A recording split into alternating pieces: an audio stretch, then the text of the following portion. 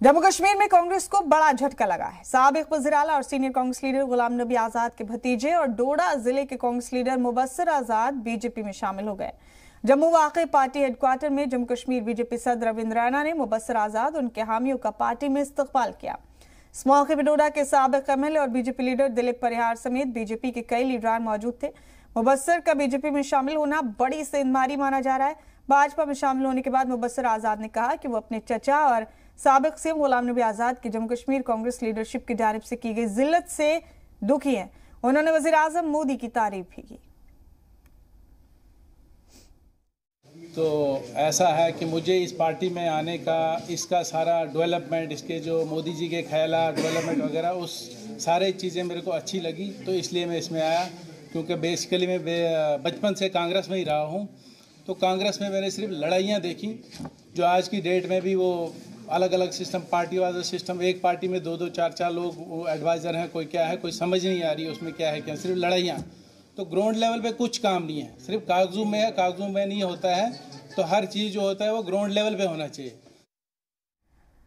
कुलगाम के शेख मोहल्ले में गुजशत शाहबाग के एक हौलनाक वारदात पेश आई, जिसमें दो भाइयों का घर जलकर खाक हो गया। हादसे में घर का सामान राख में तब्दील हो गया, जिसे लेकर मकामी लोगों ने जिला इंतजामिया से मुतासर अफराद की मदद की अपील की। रात साढ़े नौ बजे आग नमदार हुई इस मकान में। इस मकान में ये दो भाई रह रहे थे। साढ़े नौ बजे यहाँ पर आग लग गई और आग में जितना भी सामान था वो पूरा जल गया। दो भाई रह रहे थे यहाँ पर। जितना भी सामान था, नुकसान बहुत ज़्यादा है और इनके छोटे छोटे बच्चे हैं जो इस वक्त बाहर पड़े हैं। इनके इसके सिवा इनके पास कुछ भी नहीं है। न ज़मीन है, न जायदाद है और ये हैंड टू माउथ है लेबर है। कोई काम नहीं है मतलब खाली लेबर क्लास लोग हैं ये दो। दो भाई एक ही मकान में रहते थे, दो सेट में। और जितना भी सामान था, पूरा नुकसान हो गया। आप खुद भी देख सकते हो, अंदाज़ा लग सकते हो कितना नुकसान हुआ अब हम यहाँ पर कुलगाम एडमिनिस्ट्रेशन से रिक्वेस्ट कर रहे हैं डिप्टी कमिश्नर कुलगाम से। म्यूनसिपलिटी कुलगाम जो चेयरमैन साहब हैं, उनसे रिक्वेस्ट कर रहे हैं कि इनके कुछ फुरी तौर इमदाद करें, ताकि ये अपना रहन सहन बसर कर सके। कश्मीर वादी में रौनक लौट आई है। हमने आपको गुजशत दिनों डल झील पर लाइटिंग वाली शिकारे पर खास रिपोर्ट दिखाई थी। अब आपको गुलमर्ग के खास कैफ़े पर रिपोर्ट दिखाते हैं। दरअसल सयाहों की तवज्जो मरकूज करने के लिए गुलमर्ग में एक इग्लू रेस्टोरेंट तैयार किया गया है जो लोगों को बेहद पसंद भी आ रहा है।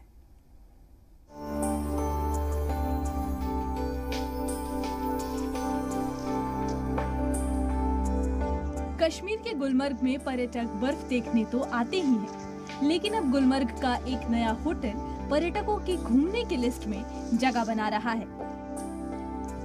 सैलानियों को आकर्षित करने के लिए गुलमर्ग में इस इग्लू रेस्टोरेंट को तैयार किया गया है।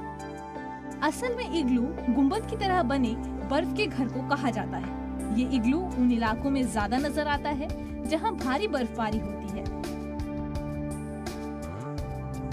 गुलमर्ग पहले से ही बर्फबारी का मज़ा लेने वाले पर्यटकों में काफ़ी लोकप्रिय रहा है। अब वहाँ बना इग्लू लोगों के आकर्षण का केंद्र बनता जा रहा है।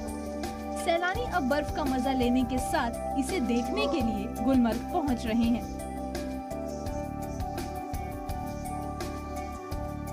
कैफ़े की खूबसूरती देख सैलानी काफ़ी रोमांचित है। इस कैफ़े के अंदर खूबसूरत लाइट्स लगाई गई हैं, जिससे इग्लू और भी खूबसूरत हो गया है। बर्फ़ के बीचों बीच इग्लू में गर्म खाने का लुत्फ उठाने का भी अच्छा इंतज़ाम है। खास बात ये है कि कैफ़े के अंदर टेबल और चेयर भी बर्फ़ से बनाए गए हैं। मैं पहली बार कश्मीर में आई हूँ और मैंने सुना था कि जन्नत है कश्मीर कश्मीर को जन्नत बोलते हैं। लेकिन हाँ ये ज़रूर जन्नत ही है। आज मैं आई हूँ ये इग्लू होटल में और ये वाकई जन्नत से कम नहीं है। इधर आप देख सकते हो, इधर बहुत हसीन नज़ारे भी है और होटल के साथ आप बहुत जलपान या और कुछ फैसिलिटीज़ भी आप अगर चाहो तो वो उसका लाभ ले सकते हैं। इस कैफ़े में लोग करीब एक घंटे तक समय बिता सकते हैं। बर्फ़ के इस कैफ़े का सेल्फी एरिया युवाओं और बच्चों में काफ़ी लोकप्रिय हो रहा है। पर्यटकों का कहना है, यहाँ ली गई शानदार तस्वीरें एक शानदार यादगार है। इसे ट्रेडिशनल फील देने के लिए कॉपर के समोवर भी रखे गए हैं। इग्लू का इतने आ, कम टेम्परेचर में इतना बड़ा स्ट्रक्चर खड़ा करना इग्लू का वो भी होटल वो भी इतना अच्छा शानदार होटल है बहुत बड़ी बात है और बहुत यूनिक एक्सपीरियंस है। तो मैं कहूँगा कि लोगों को यहाँ पे आना चाहिए और इसका एक्सपीरियंस लेना चाहिए। इससे पहले दुनिया का सबसे बड़ा इग्लू कैफ़े स्विट्जरलैंड में था। स्विट्जरलैंड के उस कैफ़े को 2016 में बनाया गया था। जिसकी ऊंचाई करीब 34 फीट और चौड़ाई 42 फुट है। गुलमर्ग के इग्लू कैफ़े की लंबाई करीब 38 फीट और चौड़ाई 44 फीट है। हम लोग कश्मीर में यूज़ करते हैं जनरली घरों में।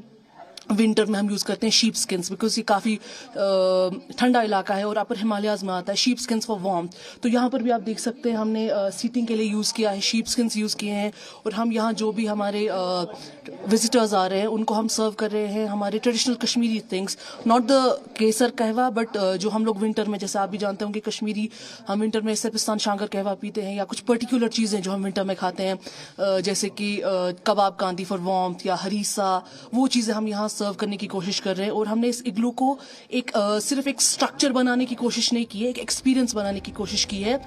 गुलमर्ग में बना ये कैफ़े दुनिया का सबसे बड़ा कैफ़े है और इस कैफ़े को बनाने वाले जल्द ही Guinness book of world record में सबसे बड़े इग्लू का दावा पेश करने वाले हैं। Bureau report Zee media. खबरों में बने रहने के लिए आप हमारे फेसबुक ट्विटर इंस्टाग्राम पेज को फॉलो कर सकते हैं। और ताज़ा अपडेट्स के लिए हमारे यूट्यूब चैनल जी सलाम को सब्सक्राइब कर सकते हैं।